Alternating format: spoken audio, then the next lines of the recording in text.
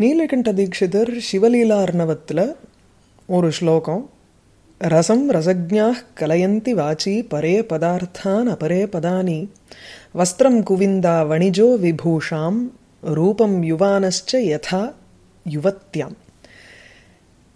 இந்த ஸ்லோகம் என்ன சொல்கிறதுன்னா ஒரு காவியம் அதாவது இவர் புதுசாக ஒரு காவியம் எழுதுறார் சிவலீலா அர்ணவம்னுட்டு அந்த காவியத்தை பார்க்குறவா நல்ல கண்ணோட்டத்தில் பார்த்தா நன்னா இருக்கும்னு அவரோட அபிப்பிராயம்னு நினைக்கிறேன். அதனால தான் இப்படி சொல்கிறார் சில பேர் என்ன பண்ணுறான்னா ரசக்ஞாக ரசம் பற்றி தெரிஞ்சவா எப்படி ரசமாக இருக்குது இந்த காவியம்ங்கிறத பார்க்க போகிறா பாக்கி பேர்லாம் என்ன பண்ணுவான்னா வாச்சி வாச்சி அர்த்தத்தை பார்ப்பா. சில பேர் பதங்களினுடைய அர்த்தத்தை பார்ப்பா. பாக்கி சில பேர் வெறும் பதத்தை மாத்திரம் பார்ப்பா.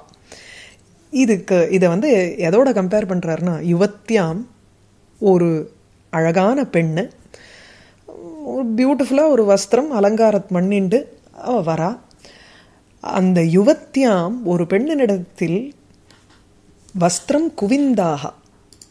ஒரு பெண்ணினிடத்தில் ஒரு நெசவாளி அவ போட்டுருக்கக்கூடிய வஸ்திரத்தை பார்ப்பான் இது எவ்வளோ அழகா இருக்கு என்ன ஏதுன்னுட்டும் அவனுடைய கண் அந்த வஸ்திரத்து மேலே படும். அதே வணிஜகா வியாபாரியா இருந்தான்னா அவளுடைய நகைகள். வணிஜகா விபூஷாம்.